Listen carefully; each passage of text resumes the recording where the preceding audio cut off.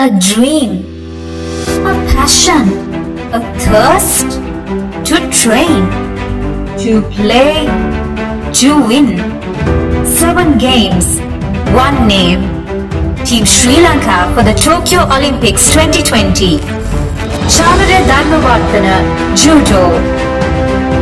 Milka Gihani De Silva, Gymnastics. Iluka Karunaratne, Badminton. Equestrian. Yupun Abeykoon, Athletics. Imali Liyanarachchi, Athletics. Tehani Egodawela, Shooting. Matthew Abeysinghe, Swimming. Aniqah Gaffoor, Swimming. Taking a leap forth as one pride of the nation.